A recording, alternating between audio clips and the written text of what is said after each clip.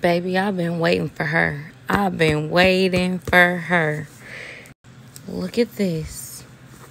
Oh my goodness. Isn't she lovely? She is really spacious on the inside, like a lot of space, and she's flexible.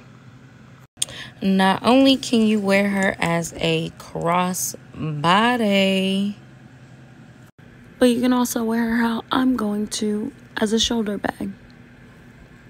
Look at that. I love it. I'm updating all the links, you guys, so bear with me. Because if you didn't see my story today, go see it. We in this thing, gang. I love her. I don't know why I don't be expecting this hardware to be this sturdy. But it is. They don't be disappointing me, y'all.